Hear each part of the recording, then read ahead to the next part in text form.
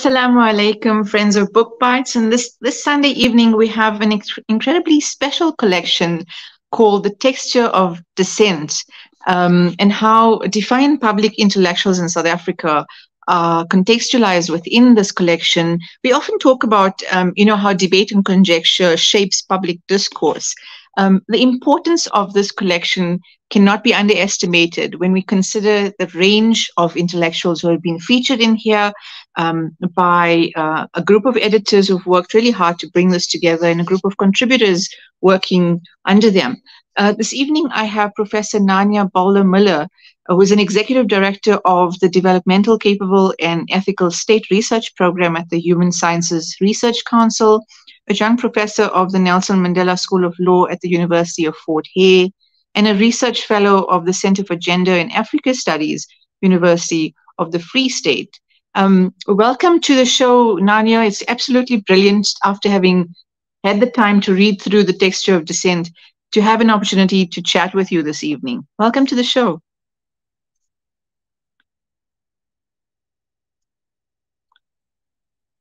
Sharing some. I'm hoping we haven't lost the guest. Can you hear me? I can hear you now. Welcome to the show. Welcome to Bookbytes. Hi, hi. I'm sorry about that. I, I must have disappeared. Thank you very much for the invitation. I'm very honored to be here tonight, and I'm looking forward to our discussion.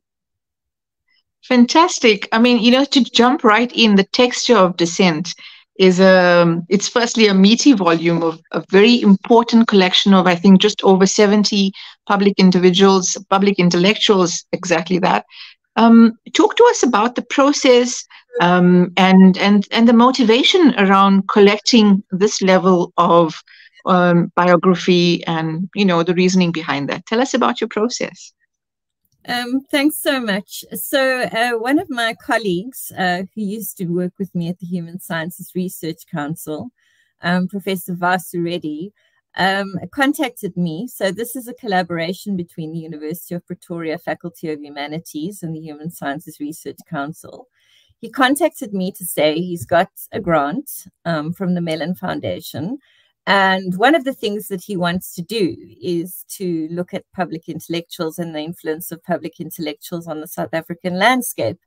And it would have to be a diversity of uh, public intellectuals. So I roped in um, one of my colleagues, Dr. Greg Houston, and uh, Dr. and Professor Reddy roped in two of his colleagues as well. Uh, so there are five um, editors of this book, and that kind of makes it special because, as I said, it's a, it's a diversity of intellectuals, and therefore there were five people who were really brainstorming and thinking about how this could work. And it's certainly not perfect. And we say that in the introduction to the book because different people perceive intellectuals differently. Um, but the discussion we had really was around more around people who have made a difference in some way uh, to the South African discourse, to the way in which we think and debate and live um, in South Africa. So uh, we we had um, a discussion, and then we released the first book. So I'm just telling the process now. So the very first book was called The Fabric of Dissent. Um, and so we can call this the first volume, if you wish. Now, in this book is also about just over 70 public intellectuals. So in total, we couldn't leave any out. We decided to go for a second volume, which is called The Texture of Dissent. Um, we had to think a lot about the kinds of, of uh, messages that we wanted to bring across in the books. And so we decided to divide the book into four. Um, and so the first uh, part of the book is about um, political intellectuals. South Africans love politics. The second uh, part is academic intellectuals. The third part, cultural intellectuals. And the fourth part is organic intellectuals. I looked at, you know, how these have been configured, the different parts. I mean, you've got 20 each of the political and cultural, um, fantastic uh, names. we've got so many living legends and and historical um, biography that you've captured here and then obviously about nine academic and 24 organic you call you call them organic public intellectuals so from different uh, and vast sort of um, experience they bring in a vast experience to this this idea of what constitutes public intellectualism or, or the public intellectual um, speak to us about how this was configured. I mean, as five editors, what would you what would have constituted your your range of debate around who to who to include in here? Because I mean, hmm. within your list of editors are you know people who are including yourself who constitute uh, a range of public intellectuals and so many more that we experience around ourselves and yet you you have a meaty very conclusive very uh, huge contribution to this to this collection speak to us about bringing that together and choosing who who goes into these these spaces and these under these headlines this is really the most it was the most difficult thing to do um, and it wasn't just us brainstorming. We were talking to people everywhere. Um, public intellectuals who are featured in the books uh, those that aren't even featured in the books um, to try and find what we wanted a mix. We wanted to show how diverse south african thinking is and how diverse south african society is so the first volume was more historical. So the um, all the public intellectuals, uh, many of whom have passed away, um, but have made a tremendous impact on society. And this new book um, that we are talking about now is more about contemporary. Uh, there are many contemporary public intellectuals in this book, and nobody really writes a lot about contemporary public intellectuals. And what was just a, a, a, small anecdote was what was quite sad was that uh, Frene Ginwala died while our book went to press. Uh, so you know we we could have done a, a tribute to her instead of merely. Um, she's the first person, ironically, um, in the book that we write about. Um, but it was very um, sad that uh, you know we hadn't been able to do something maybe a, a, little bit more for her because uh, she was such a phenomenal woman. So both right. books start with women, but one of the main criticisms actually is that we don't have enough women um, public intellectuals in the books. That's an interesting debate that we could take on. I just, it's so exciting to to open a collection like this and see uh, you know the sort of the weight of content that you have and and the significance of it. Because i mean if i may say as south africans what's more what's exciting about content of this nature is also the realization and appreciation of um, the real work that gets done behind the scenes when we're so fatigued by corruption you open every journal and newspaper these days or any link online and you're you're hearing about corruption. And our, our state structures are, are burdened and, and our infrastructure is overburdened by by you know what's happened with corruption. So the significance of you know of this collection i think cannot be underestimated. Obviously you you and your team know that better than anyone.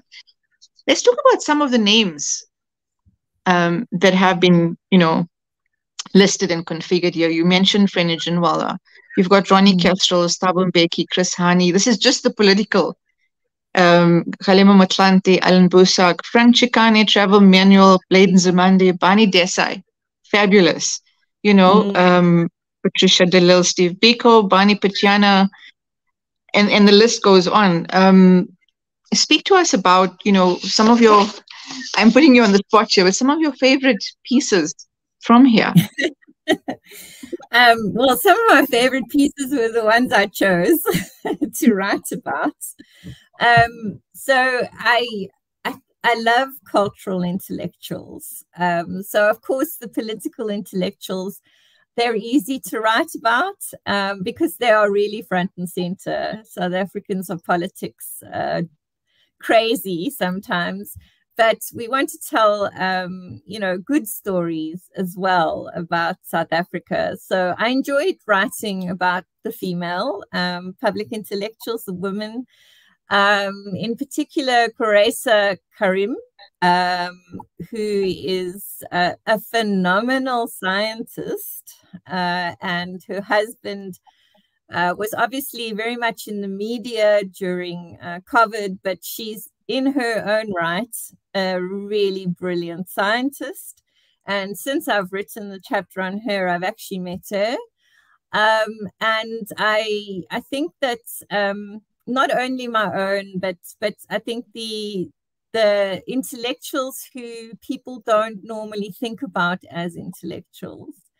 Um, you know, so uh, it's easy to say, you know, we we know about Thabo Mbeki as a, a public intellectual, um, but we very seldom think about um, Brenda Fassie as a public intellectual and and what she contributed um, to to the way in which things changed in South Africa. So in a sense, this is supposed to be a good news story. It's about South Africans who've made a difference, um, South Africans who've res resisted oppression.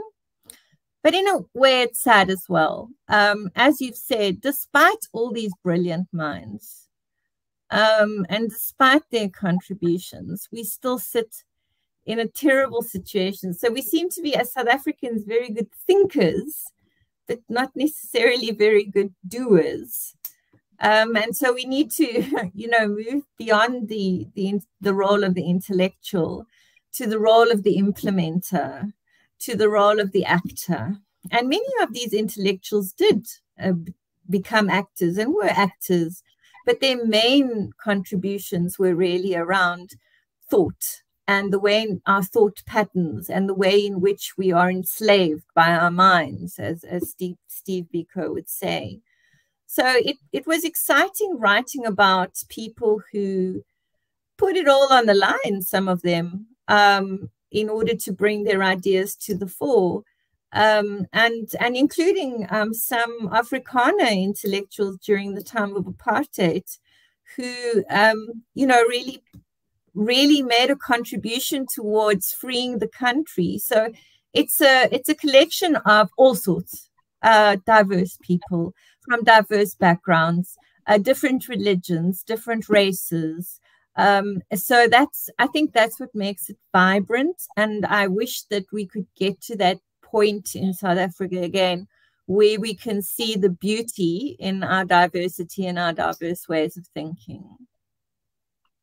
And I mean, when I looked at some of these pieces, and you speak about, you know, um, the contributions of uh, through literature, music, and and others, is this addition to the public transcript and this change of consciousness, allowing change of consciousness happens beyond just the politics of our time or the politics, uh, the political public intellectual discourse.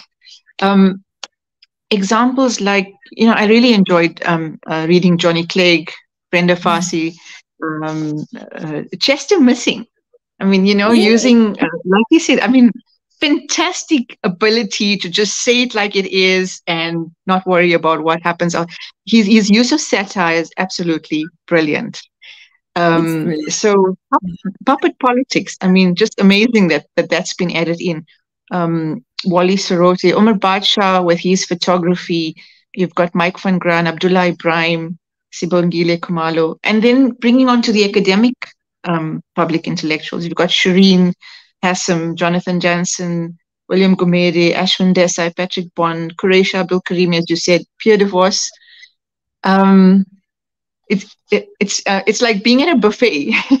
it's like being at a buffet and having all these public intellectuals set out here, um, and then you and then what you call organic public intellectuals.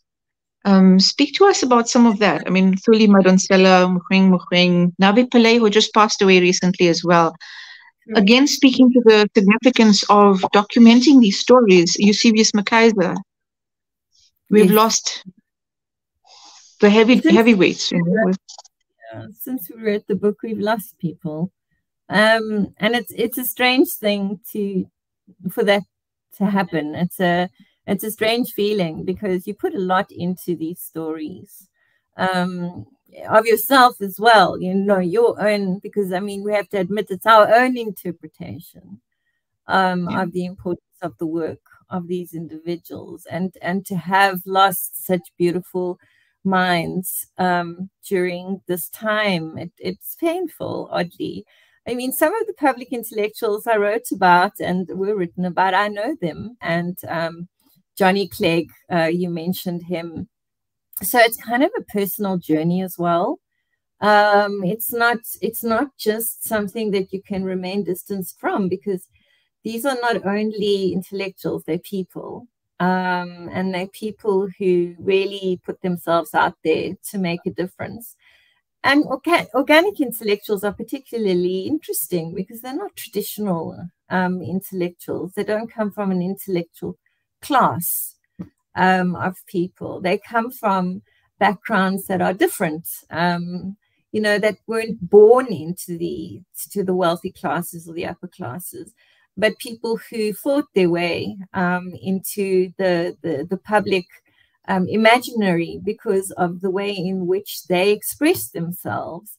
They were able to express themselves. And that's why I think freedom of expression is so immensely important and very valuable in the South African landscape.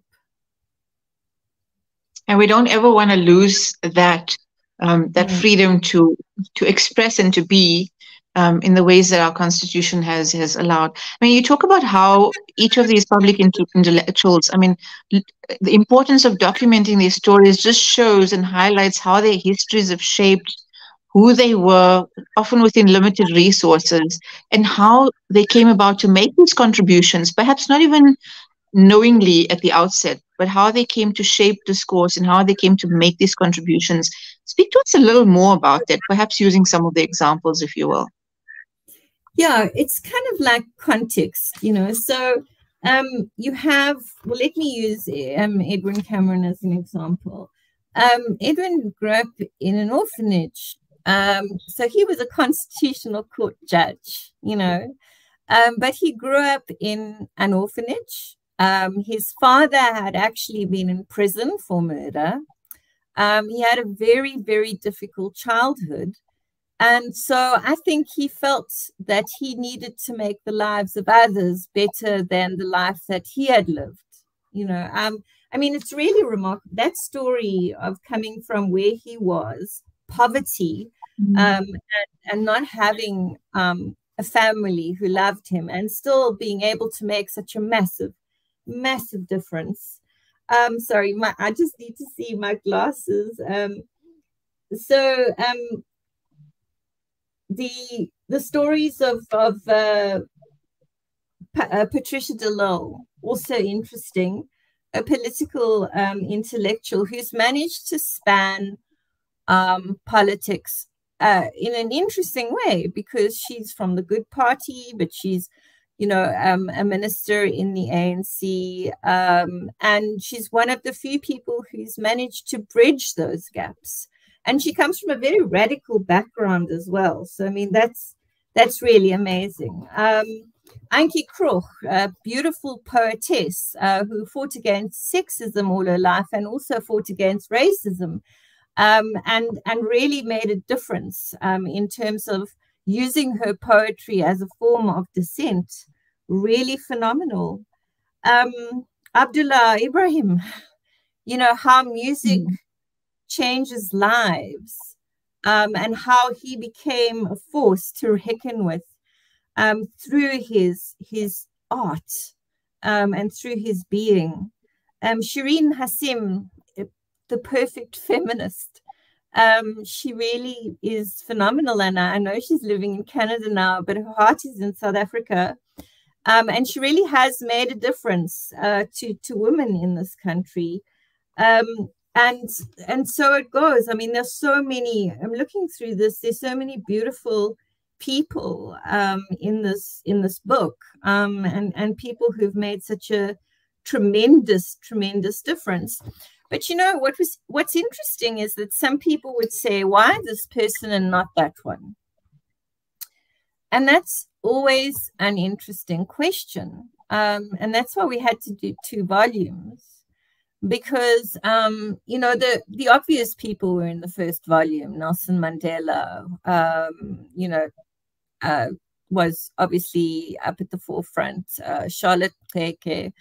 Um, but you know, people would say, "Why this person and that one?" Well, we've got 150 people that we thought we could write about. We have another 150 people that we think we can write about.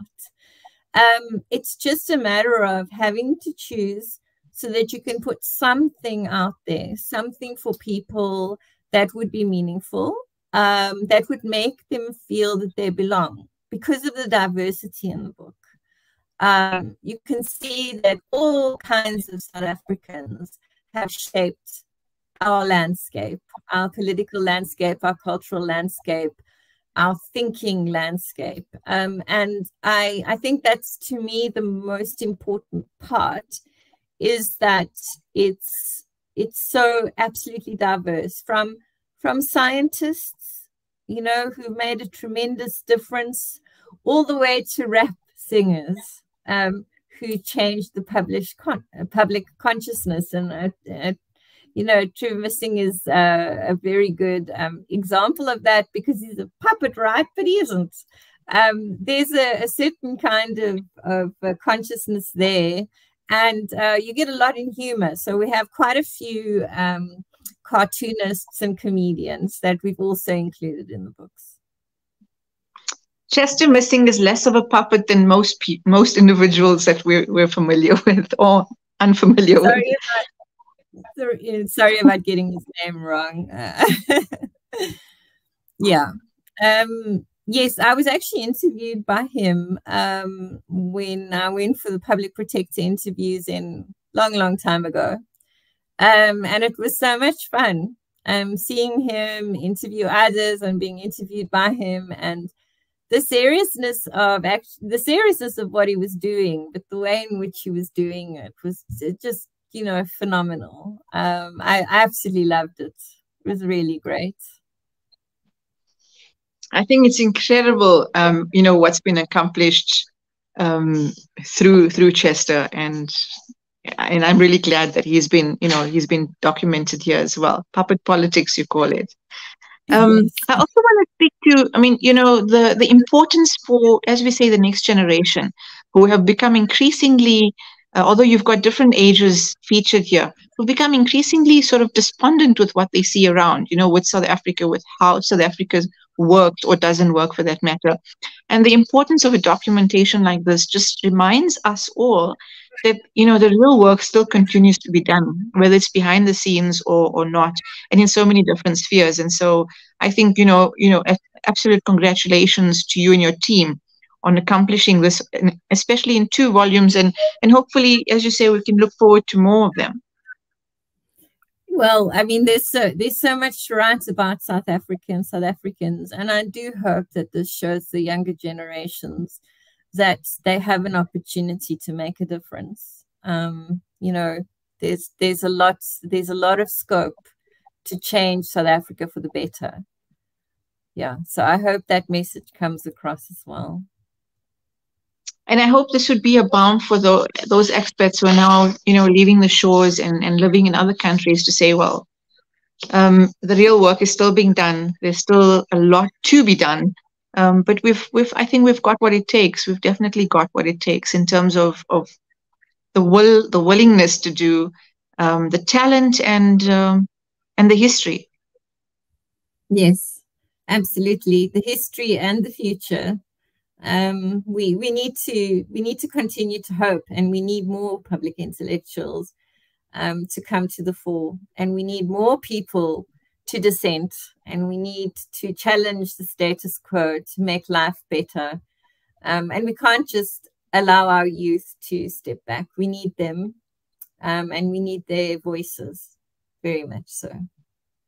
So I'm going to add to your call and say we need more emerging voices, as you said, um, yes. to come forward and to to write and to create and to speak their you know uh, their passion for our country to keep building um, for a better future and it sounds almost cliche when i say it like that but i think we really do need more of a force of dissent and and, and voice active voice uh, and mm-hmm. active citizenry to to to, to be better absolutely i mean in the past we've been in much worse situations than we have now. And people were speaking out and speaking up and singing and painting and drawing and writing. And we can't lose hope. We have to carry on. and I think our incredible sense of humor has carried us through a global pandemic. So um, things are opening up. There's there's definitely invitation for more out there. Yeah, I think yeah, I think humor is a very good way that South Africans um, express themselves, and more of that would help. We have to laugh, otherwise we'd cry. Um, so yeah, I, I think we need more cartoonists and more comedians and of course, uh, you know, I mean, we've got brilliant ones. Trevor Noah is someone that's really phenomenal and has come back to our shores, thank goodness. Um, so yeah, we've got a lot to celebrate, um, but it's not only about looking back; it's about looking forward as well. I actually just ran my my eye through um, the you know the contents just to see is Trevor in there or not yet. Trevor's in the first volume. oh, wonderful. Okay, okay, so he's not missing. Narnia, no, this is absolutely fantastic. Absolutely fantastic to have this opportunity to pick your brain on this collection. And like I said, I'm really excited to to hold this nice and heavy copy in my hands. Um, we'll even be offering a free giveaway later on our socials. But thank you so much once again for giving us your time. And we look forward to um, new volumes of um, of the series. Thank you very much, Shafinaaz. I really appreciate being here with you tonight. Fantastic. We wish you all the best um, with future research and documentation of these important biographies. And so there Thank you have it. This evening, we got to speak to Professor Narnia Bohler Muller about the texture of dissent, um, defiant public intellectuals in South Africa. We got to really delve into a wonderful list of public intellectuals from various streams um, looking at how debate and conjecture, um, uh, uh, contributions to the literary arts, to the political space, uh, to music and other spaces, has really shaped public discourse and, discourse and will continue to do so, um, along with an invitation for more of the same, for more voices to be heard.